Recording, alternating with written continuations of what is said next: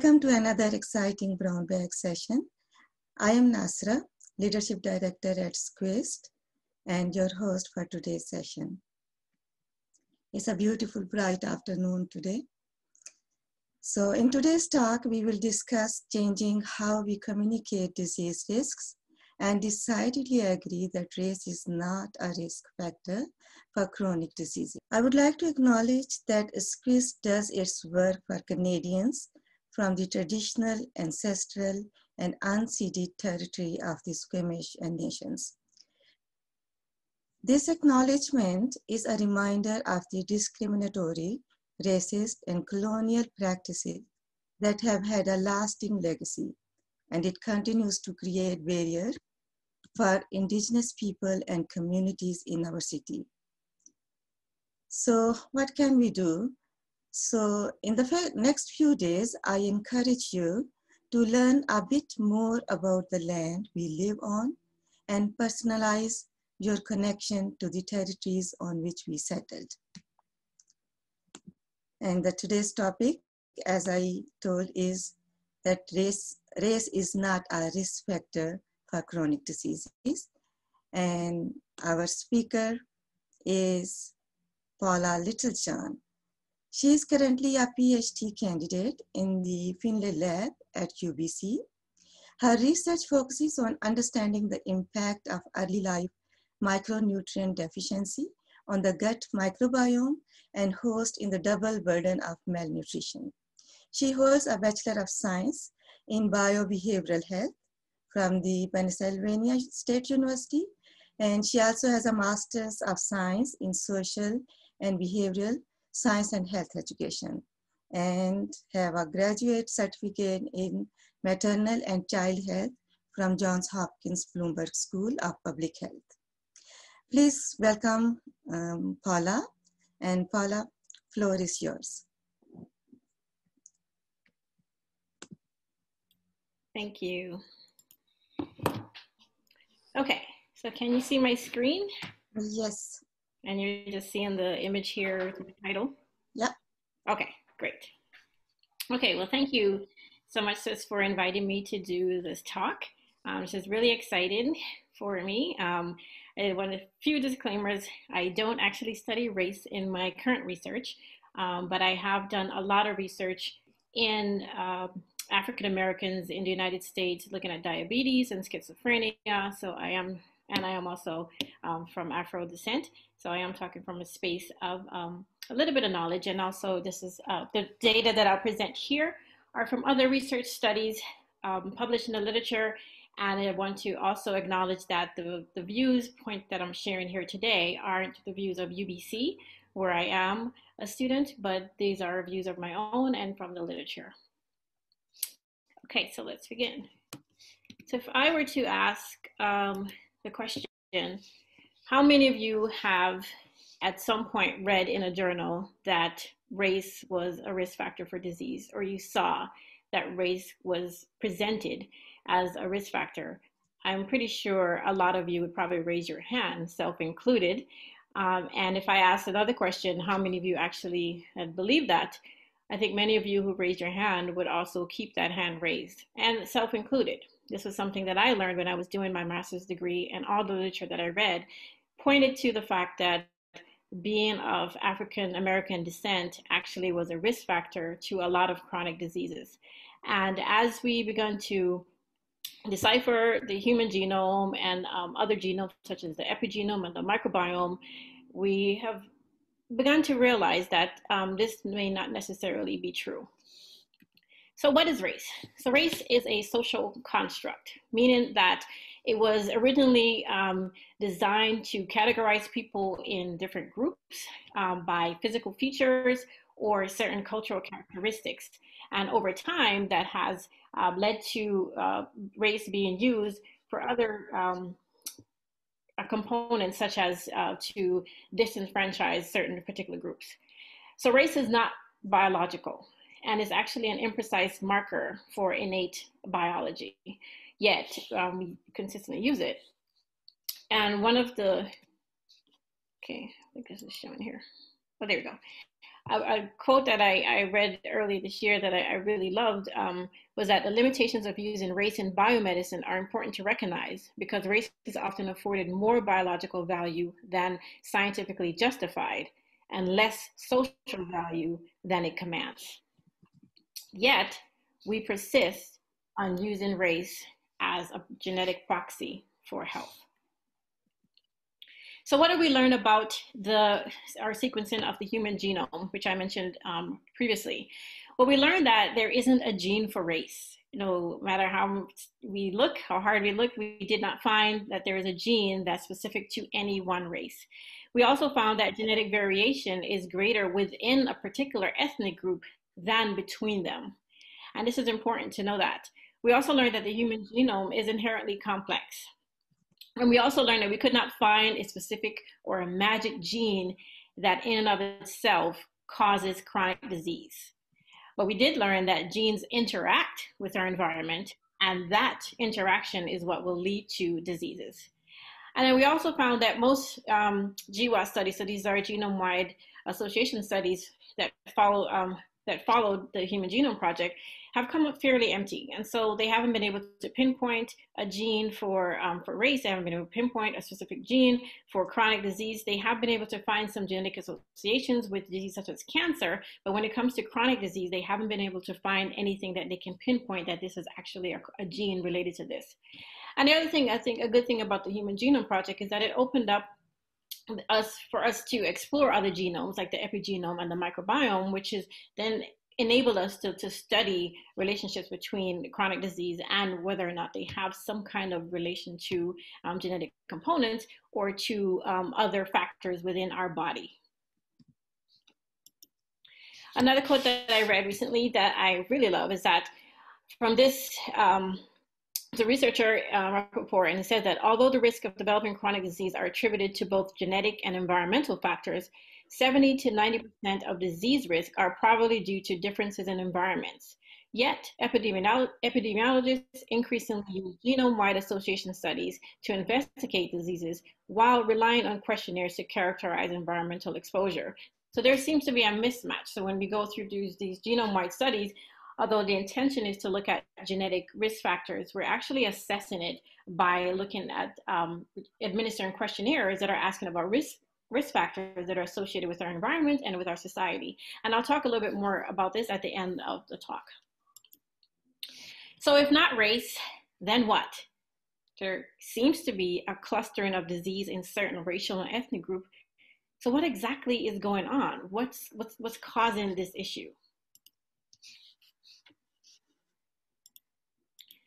So it turns out when you look at chronic diseases, um, and you see there's a list of chronic diseases here. So we have heart disease, stroke, and I'm sure most of you are aware of this, um, COPD, diabetes, and cancer. These are the, the top um, five main chronic disease that we generally study or, or, look at in, in medical research.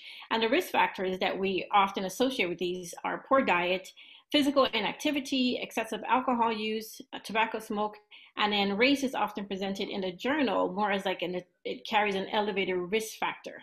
Um, and so that's what I want to talk about today. But I and I also want to argue that race isn't a risk factor for disease, but I will talk later on what we should actually be considering when we look at risk factors for chronic disease. So again, when you look at the United States and in Canada, you see that um, you know with this clustering of disease, but it's not really um, equal. And so what we're looking at is that there's what we found is that structural racism actually is considered to be pathogenic, and that structural racism in the healthcare system may be uh, at play at causing health diseases. And um, indeed, what we've seen recently is that there's been an outcry from several different medical associations, the American Medical Association, United States, um, the American um, Physician Association and several other physician groups have been putting out these statements. And this one from um, AMA came out in November. Um, this is a, a, later journal, but it came out in November 16th saying that uh, racism is actually considered a public health threat. And so, and, uh, and several other groups have been talking about systematic racism, systemic racism, sorry, and the health disparities, and that racism is actually at the cause of these chronic diseases that we're seeing in African Americans in the United States, and not necessarily their race.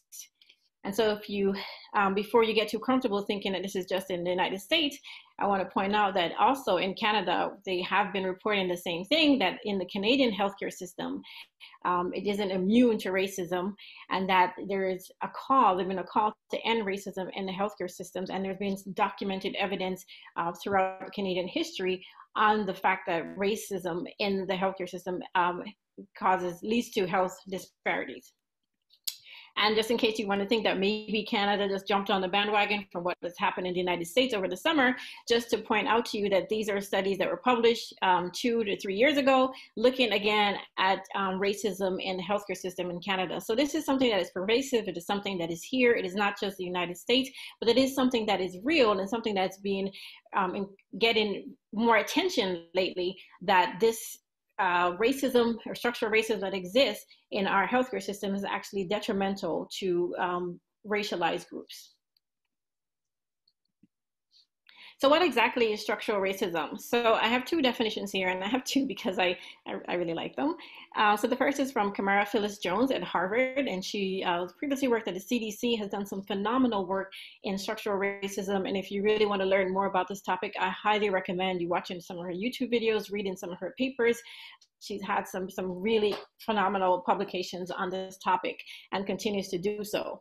So structural racism, based on her definition, is a system of structuring opportunities and assigning value based on the social interpretation of one of how one looks, which unfairly disadvantages some individuals and communities, unfairly advantages others, other individuals and communities, and saps the strength of the whole society through a waste of human resources. And this is really uh, amazing the way that she said this because not just to, for us to look at how it advantages one group, but how it, it also disadvantages one group. And in that, it, and, and overall, it saps our human resources because if we have more unhealthy or we're creating more unhealthy people in our population, that affects the entire society as a whole. It doesn't just stay within one group, it affects the whole, the entire community. Another definition by Powell is that structural racism is the macro level systems, social forces, institution ideologies, and processes that interact with one another to generate and reinforce inequities among racial and ethnic groups. And I really just want you to, to appreciate and see that the structural racism, it's, it's, it's a huge monster, really, um, and, and something that we need to deal with because of the impact that it has on health. So how does structural racism influence chronic disease? Well, structural racism then leads to, actually have been shown to induce or elicit a physiological response, which, which then equals poor health or disease. And I want to talk about in the next few slides uh, just a few studies that have been published looking exactly at structural racism and chronic disease relationship and how, so we can have a better understanding of how um, it might impact the health of African Americans. So um, just talking about stress, um, structural racism and chronic disease and looking at stress. So there were two, uh, a lot of papers published, but I just highlighted two here because I don't have uh, all day to talk about this. But um, these, one of the things I wanted to mention is that structural racism is considered a stressor in itself that elicits a physiological and neuroendocrinological endocrinological chronological response. And an increased stress in response to racism is linked to um, hypertension and cardiovascular disease risk. And this is based on some work that's been done out of the Jackson Heart Study. The Jackson Heart Study is a study that's been in Jackson, Mississippi, that started in 2000 and will continue till uh, 2024. So this is a longitudinal study with 5,000, uh, a little bit over 5,000 African American male and female. And um, researchers, they've had three visits so far to date, and they've been just looking at the, the, the goal of the study is to look at genes and environmental risk factors for cardiovascular disease in African Americans. And uh, the impetus for this study was because in the southern United States, African Americans are disproportionately affected by um, chronic diseases and actually have increased morbidity and mortality from chronic diseases compared to um, African Americans in, in the northern part or other parts of the United States. So this is really a crucial study. Um, and it is thought, it's thought that racism is thought to represent a noxious type of chronic stress that is linked to a range of adverse health outcomes. And this has been shown in multiple studies. So in this first study in the discrimination and hypertension risk among African Americans, what they looked at was they measured using a, a validated scale, they measured everyday and um, lifetime exposure to racism, racial discrimination. And, and they looked at a sample of 1,845 patients and what they found was that um, these patients who didn't have hypertension coming into the study in 2000, by year eight, 52% had hypertension. And although they didn't find an association between everyday um, exposure to racism and no dose response, they did find, though, that participants who experienced one or more domains of lifetime discrimination had higher incidence of hypertension even after adjusting for age, and that higher stress from lifetime discrimination was associated with higher risk of hypertension even after adjusting for age, gender, and socioeconomic status. And then another study um, using the Jackson cohort looked at racism and cardiovascular disease, and they found the same thing, looking at the same measure, looking at lifetime exposure, and, um, everyday and everyday exposure. They did find association between both everyday exposure and lifetime exposure, and that both had a significant um, increased incidence or, or related to association with um, increased incidence of cardiovascular disease in African Americans. So looking at another marker um, that has been studied has been uh, inflammation. And I'm sure I don't have to convince many of you in the audience out there that inflammation is, has been shown to be linked uh, to chronic disease, and this has been well established in the journals. And several studies have also found that racism is considered a chronic stressor that triggers chronic high levels of inflammation. And so in this particular study, they look at um, self-report experiences of everyday discrimination, and they also measured um, a, a, marker for inflammation, C-reactive protein, known as CRP, um, in African Americans in these groups. And what they found was that um, participants who experienced both everyday and lifetime uh, discrimination had severely higher um, uh, levels of C-reactive protein in their blood. So, you know, indicating that the stress from racism actually had a physiological or cellular response, increased inflammation that you could actually measure in the blood. Um, and this inflammation then will, will be what triggers or leads to chronic disease. Another aspect that um, also showed up in literature, at least that I was particularly interested in, was looking at epigenetics.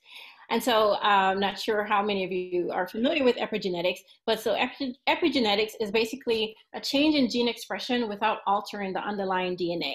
And so it's literally just like a tag. If you think about a, a use a book, um, and then you just use some sticky notes and then you can attach to the different sides of the book. That's kind of what epigenetic does. It doesn't change the altering chapters in the book, but it just adds like little tags or little sticky notes on those.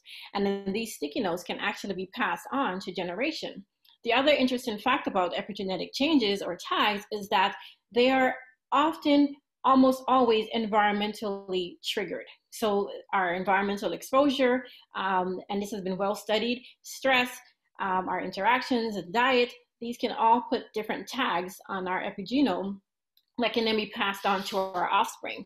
And this is really crucial. And I, I, like that they've begun, begun to look at this in the literature because we have seen that early life exposure, there's this, this critical window for, for when we develop and how we are, um, we are, uh, our, our health trajectory is set from birth and, and in this early stages and these epigenetic markers, if you're thinking about racism in the United States, you're looking at hundreds of years of having this environmental um, high risk exposure that's been putting these tags on African Americans.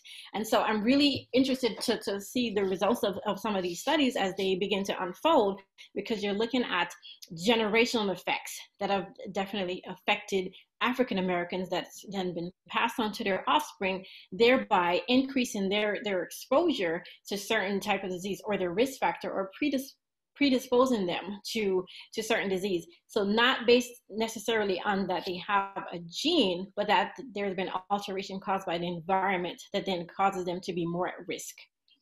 And so these are two studies that have just been um, presenting different theoretical framework, looking at how epigenetics may play a role in um, African Americans and in passing on those those those um, traits to their offspring. And they've been really the, these two papers are really great because they just highlight some different epigenetic models that one can use to begin to decipher how these things can get under the skin to then cause disease in African Americans. The last um, type of study that I want to talk about is looking at race and the microbiome. And the microbiome is, is a fairly new player um, in the game. And so we've only just begun really trying to understand uh, our gut microbiome. This is the area that I study. And I found this paper and it was really interesting because this was a different type of, of paper. So it didn't necessarily look at structural racism, but what they did find in this study was that um, they found a difference in beta diversity. And so beta diversity is the difference in the gut microbiome structure between individuals versus alpha diversity, which is within the same individual. They didn't find that.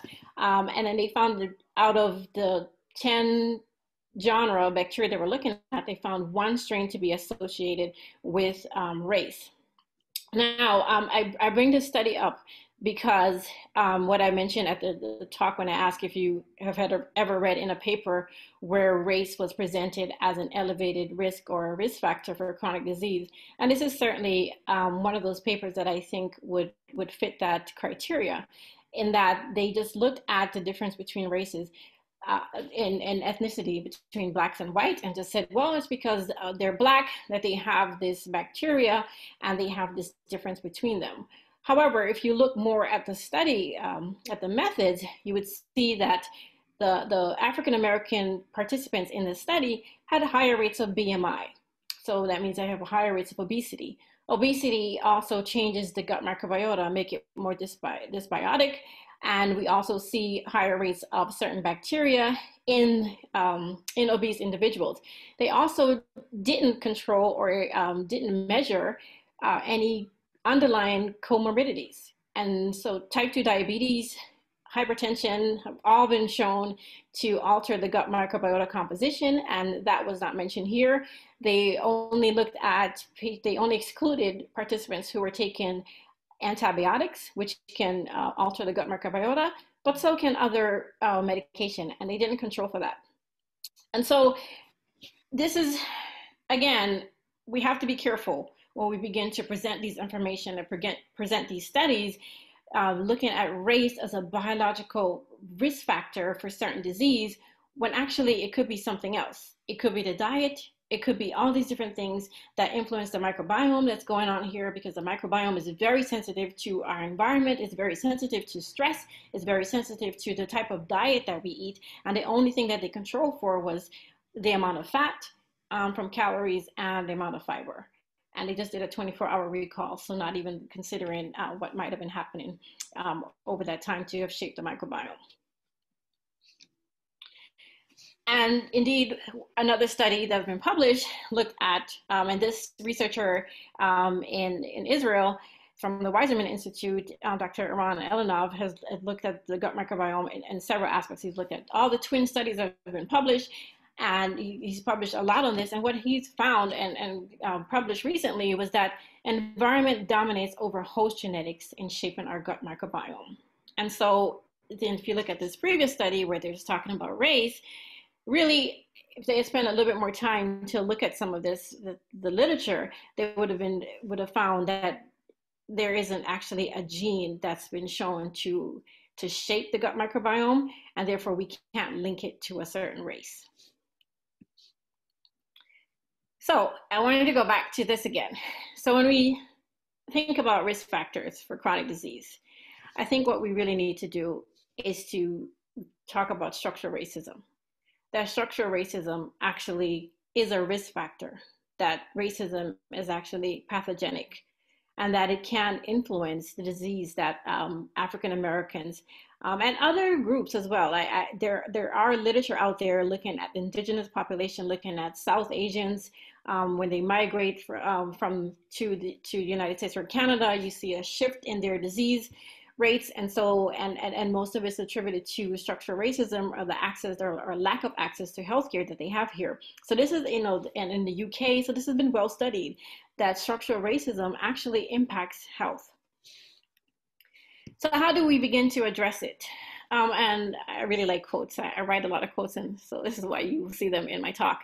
And so, racism is a structural. It is structural, having been codified or codified in our institutions of customs, practice, and um, and law. And so, there is no need for an identify an identifiable perpetrator, meaning that if you see if you ask someone if they're racist, they'll deny it and say, well, no, I'm not a racist um, for the most part. And hopefully they'll, they'll say that. But we have to come away from looking at an individual and understand that it is a system. And if it's a system, then there are laws, there are structures, there are different codes um, that play, play a role in, in structural racism. And so you have to address it differently.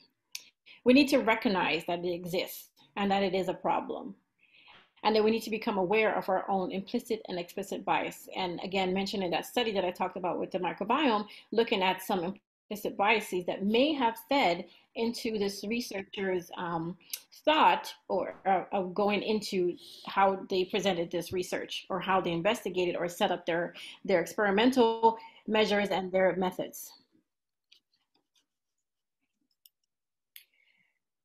So I pulled this from um, the CDC in the United States, um, and one of the things when I first pulled it, it was just to talk about you know the, how the different types of chronic disease. But as I looked at it again, I thought, okay, so looking at our implicit biases that may play a role in how we perpetuate that African being of African American descent actually plays a role in chronic disease. So here you have this a black male with diabetes, and even though it shows that he's physically active again, he's listed under diabetes, so you're making this association that even if he exercises, he's still going to be at high risk for diabetes because somehow it's related to his race.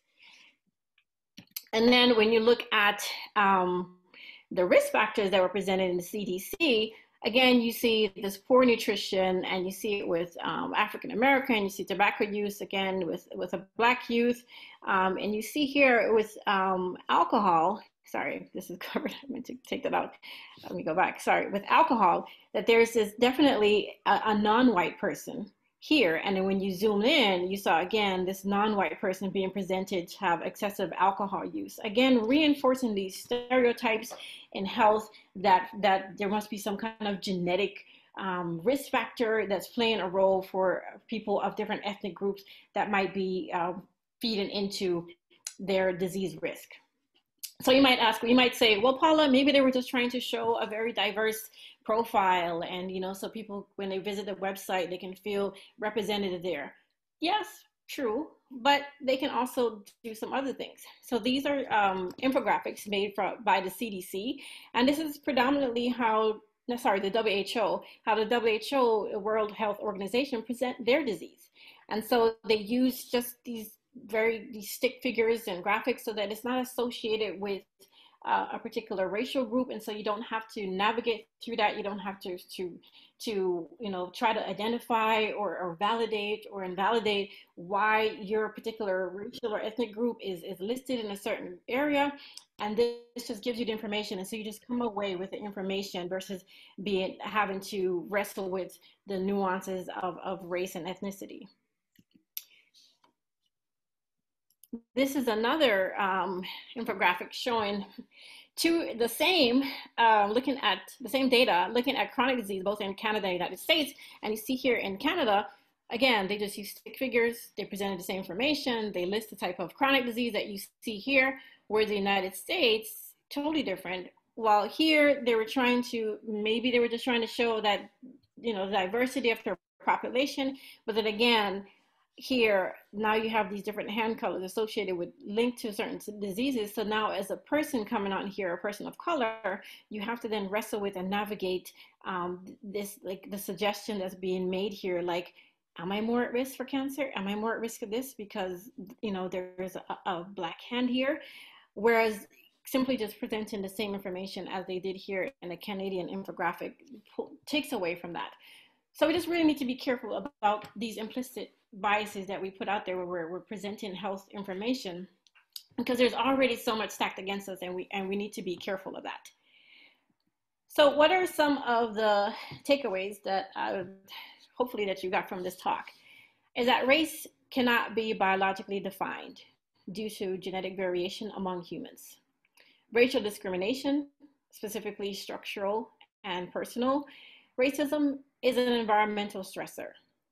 And that chronic exposure to stress from racial discrimination has physiological consequences, and that there's growing evidence um, demonstrating that structural racism and perceived racism and everyday and lifetime exposure to racial discrimination is associated with hypertension, cardiovascular disease, and triggers inflammation at the cellular level in African Americans.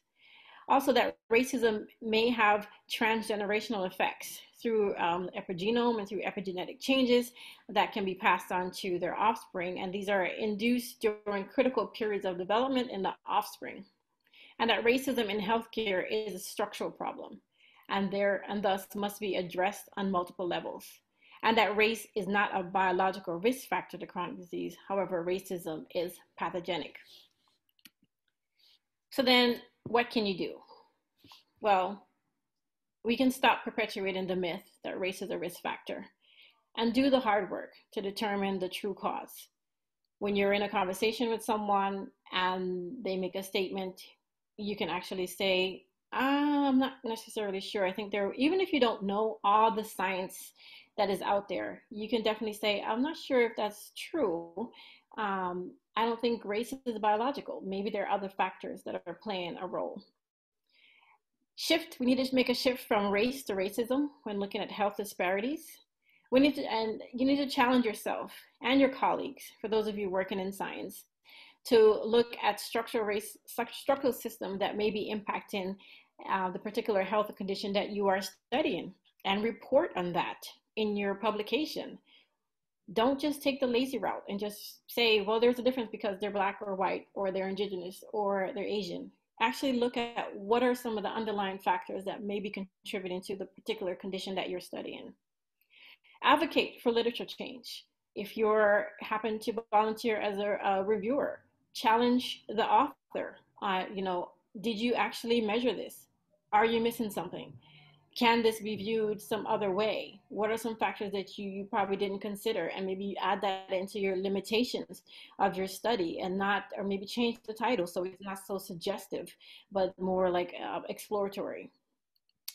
Understand the role of intergenerational impact of racism on the epigenome and advocate for funding programs that can impact maternal and child health. This is a critical window for epigenetic changes and imprinting. And so if we have more funding to, to, to look at that, and African Americans are, have, are disproportionately affected by um, death in, um, in delivery than any other groups in the United States. And so this is a big problem. We need to critically think about how we design our studies. And if you're looking at genetic influence, don't collect data on environmental exposures only. You need to actually find the funding or if you don't have the funding to to sequence dna and to, to look at that then maybe you need to change the approach of your study. Disrupt the system on multiple levels. Structural racism is huge. It affects our healthcare system. It, it affects our judicial system um, our, our educational system. And so we need to, to disrupt it at multiple levels and include more people of color in your studies. I've worked 10 years in clinical research and a couple of years in, in academic research. In my academic research, I was at Johns Hopkins. And so we did look at uh, a lot of different groups and we looked at uh, African Americans during in those trials. But in my 10 years in clinical research, I, I could probably count on both hands, or maybe one, how many African Americans were actually included in those trials. Yet they are also people who are going to be taking this medication. And although there, there's not a, a, a biological difference, but they should be represented in the studies. And then become active. Inaction actually perpetuates the existence of racism. And so I want to leave you with one final quote and is that in the biomedical community, or the biomedical community is privileged to have the opportunity to tackle discrimination in research and medicine and to turn away from cultures of underrepresentation and implicit bias that reinforce racial stereotypes and exacerbate health disparities. So with that, I want to say thank you, and I am happy to take questions. Mm-hmm. Thank you, Paula. Thank you for so much information. And personally, I think I realized that I really need to be educated on this topic. You talked about many diseases, but I was wondering some diseases which are directly connected with skin, like uh, eczema, cancer, or other skin diseases, are they connected with um, genetic, with race or not? So for um, for sure, some cancers um, do show a genetic risk factor, although it's it's not as high as people often think, um, or that we give it that much weight to.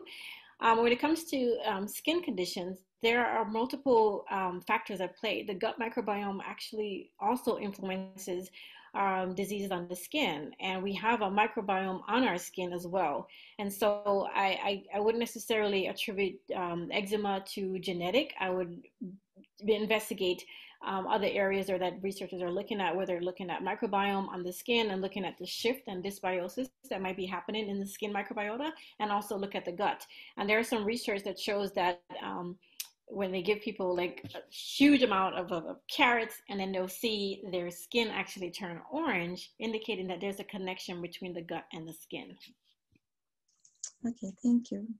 So actually this information is uh, mm, kind of complex, new, and yeah, so maybe we would need your slides so we can share it with audience and they can read it again and um, and like explore more? Yeah, definitely.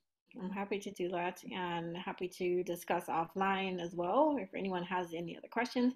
I didn't get a lot into my own research. Um, we studied the microbiome, but it is uh, has been shown to be a key player in chronic diseases, and so we definitely need to to begin to look at um, other factors that may be at play and and come away from just the way that someone looks that you know that's influencing our disease status because it's not necessarily the case. And when we look at inequities in healthcare and look at access and the barriers to healthcare who gets treated who doesn't who don't get treated um, we see a, a lot of um, some some changes there. When for um, there's a study i was reading where they showed that in in 1964 when they the united states became desegregated that death from maternal from from um, birth or, or in African Americans decreased significantly over six years um, because of just that they had access now that they were able to be to be able to come in and have their babies. And even though right now still i think there was a number and i saw it was like 243% it's like a huge rate of african americans who die in childbirth in the united states and it's attributed to how they're treated in the healthcare system. And when you look at indigenous group here in the united states again um, i'm sure many of you have heard of the sinclair case where it was um, a young man in a wheelchair was in a hospital and he was there for 34 hours and he was ignored by everyone in the hospital. The nurses they showed video footage of everyone just passing by and he died from a simple treatable condition which was just he had a, a, a bladder infection and um, so the structural racism does play a role in our healthcare system. The way that things are coded, the way that um, some treatments are covered. There are some biases in our physicians. Um, many physicians, I don't think, are necessarily racist, but I think there are some implicit bias that plays a role in how they treat their patients. Am I going to give this patient this? Will they follow this regimen? They kind of wrestle with those thoughts, and it influences how um, they administer care. Nastura, there are actually okay. questions in the chat. Okay. Yeah, there's a question. Yes. Um, yeah. So I'll just read oh, one from Wes. Um, mm-hmm. So Wes is a question: Is there evidence for differences in drug metabolism or P450 enzymes between race, or is this connected to racism? Right. So um, P450 enzyme, which um, is our detoxification genes. So you're probably asking that because you've seen a couple um, studies being published about SNPs and looking at cytochrome P450 and the different the differences in people. Um, I haven't seen anything where that's been attributed to a specific racial group. Um, when you look at the human genome, what you find is that we're genetically similar than we are different. and that actually the the most similarities or differences that you will see is actually within a, a particular ethnic group versus outside. And SNPs actually represent about 1% of the population. They can happen at any time, that anything can cause them. And so um, I haven't seen anything to suggest that there is a genetic component to some of the genetic gene mutation that we see, like in detoxification or um, MTHFR and, and some of those other um, genes. And I think okay, so thank you, Paula. Yes. So there's another question uh, from Olga. She says, I am Eastern European and have been told by a specialist, well, you know, people from your background have one out of 400 chances of having this disorder. Any suggestions to how to reply a challenge like this? Yeah, I think you should ask for the data. Say, can you point um, out those the research studies that have been done on this group that I can look at? Because sometimes when people are talking about um, we're race, we're really talking about ancestry, and we're talking about geographical location. And so when you're looking at uh, people from a certain geographical location, there are some influences there, but they, they dilute over time. Um, and you know, as you, you move through different populations, you move through different societies, you will definitely see shifts that's happening there. Um, if this is, there are some rare diseases that do have genetic component. I won't, you know, dispute that. And if this is a rare condition that has that, then yeah, you want to look at that. But if this is something that teaches kind of a jargon, then I would ask to, for some follow up. I would ask for some more data to, to show you that that's actually the case. And you do you do need to have discussions with your your physicians. Don't be afraid to do that. I had a, a, a visit with one doctor, and I definitely felt a little bit of microaggression where he was like talking to me from across the room.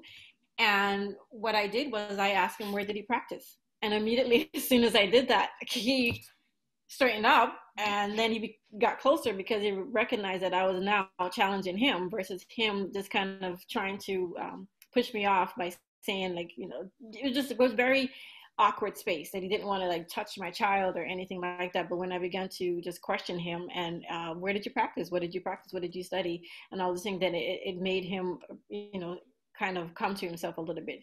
So have those discussions with your with your doctor you know to say um, I'm noticing that you know when we we have this discussion or when I come into your office, there's something there. Can we talk about this? You know, don't be afraid. It is your health, and you have to be invested in it as well. Okay, so another question, Krista asked. So, how do you feel about sickle cell anemia being taught as an evolutionary defense to malaria that gets tied up as a justification for racial differences in disease? Yeah, sickle cell is, is um, definitely very tricky, um, and I I do believe there probably is some um, ancestry that's playing a role there. Um, I don't know all the data on sickle cell, but I think it, it, it is some there. But I think we, we definitely have to get away from uh, the fact that it's just a, a black thing. I think if we look at other people from that that that area can we find the same thing so again it's just knowing the literature and being able to ask those questions and to look at it and what what's actually influencing that is it some of these um, exposure the environmental exposure that has been um, epigenetically passed down through time that's actually playing a role here that we just have missed or we just have not studied because we didn't have the tools before where now we do is that part of the, the situation that we just don't know yet. So but yeah sickle cell is, is definitely an interesting one. Okay, so uh, Apurva, she asks, I know you mentioned that people tend to measure race through a questionnaire, which isn't enough. If people were truly to measure a genetic component, what would they have to do? Would this be about sequencing the genome and identifying the gene, uh, versus common genes that pro produce the disease? Yes, so I think um, if we need to change the word from race to ethnicity, because then when you start talking about ethnicity, then you can capture um, broader components like geographical location, um, what type of groups they're mixed in. I'm originally from Jamaica. I just got my DNA sequence the other day and found that I have 70% Nigerian genes. I have um, Scandinavian genes. so it's, it's, it's a big mix. So no one is just genetically just one thing. And so we need to ask those questions to begin to say, okay, where's your ethnic um, affiliation or group? Where are you from? So begin to ask those answers to questions. And then the other part, um, would this be about sequencing the genome? If you're asking gene questions, then yes, you need to look at the, the genes. You need to look at the genome. You can't ask genetic questions and look at the environment and then make those decisions. You really need to look at, if you're looking at the genes and the environmental interaction, then you collect data on both, but you can't collect data on one thing and then associate it with something else that you have not looked at. Um, it's the same we do in microbiome research. It's very complex. Um, it's very difficult to find one bacteria or commensal bacteria that's causing a certain disease. And so we look at the community. What's going on in the community? What's the interaction that's happening here versus trying to find one bad guy or one bad bug? Okay. okay so Karin asked that you mentioned some clinical study do not take in account different races, black, indigenous, etc. It's shocking. This means some medications may not be effective on certain populations and they will be prescribed. And the cost to the public health, how is it linked with the actual problematic COVID-19? COVID-19 is a big one because um, there's been a push with COVID-19 to include a lot of different um, ethnic groups um, in the trials. And, you know, I think Fauci, Dr. Fauci in the United States, eh, when he made a statement in April of, two, of 2020 that blacks were, you know, more effective by COVID, which was the wrong move because immediately you saw every group was like, oh, well, let me go outside then. I don't want to be locked down. It's not affecting me. It's just affecting black people. That means it's a black thing. They're more susceptible. So it causes a lot of problems in a, on a public health scale. One, you you give this false sense that everyone else is off the hook and so people begin to um, eh, behave in or have unsafe behavior like and exposing themselves to a risk factor that is actually not biological. So that's the first thing.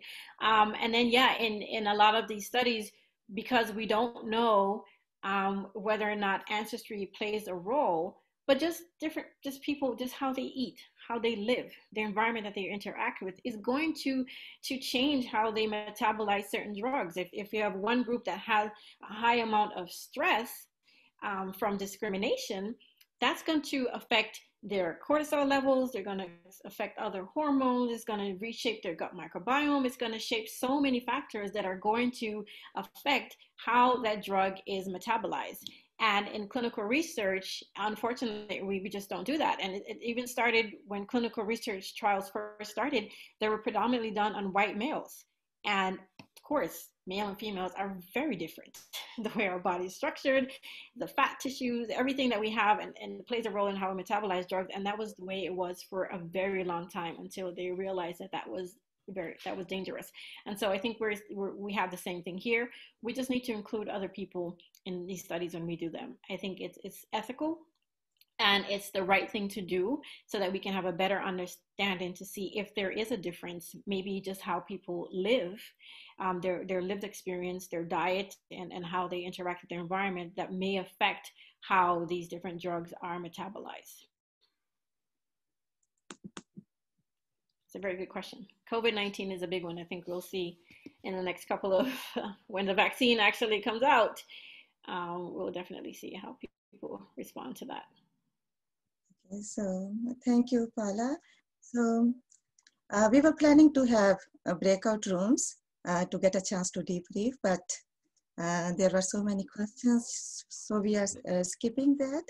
And before we close, I have a few messages so uh, you will be getting a um, survey evaluation form. Please fill up that because we love to have your feedback and we want to improve our quiz. And the other message is that we are going to have another brown bag event next week on uh, next week Wednesday, December 9. So please stay tuned for joining lovely Lorraine Graves And Lorraine will be talking about uh, plain language skills. And we will be learning with Lorraine how to kiss means how we can keep our language simple, silly, yet enthusiastic. And thank you very much, uh, Paula. And, and one last thing, last but not least, that we, uh, Paula celebrated her, her birthday yesterday. So let's sing a song together to Paula. Oh my gosh. Can unmute yourselves, please.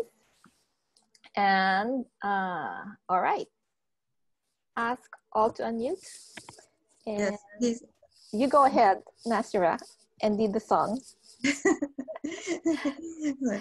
Happy birthday, birthday to you. Happy birthday to you. Happy birthday, dear Paula. Happy birthday to you. Oh, thank you so much. And I would definitely love that cake. You know, like the, the genome, the DNA on there. That's so scientific and I love it.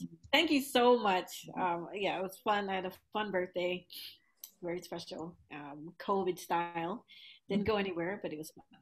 So thank you so much for that. I appreciate it. And I'm really enjoying being a part of SCWIST. I'm a new member, just joined in August, I think. And I've been really active so far, and I'm enjoying my time here, being a member. Thank you.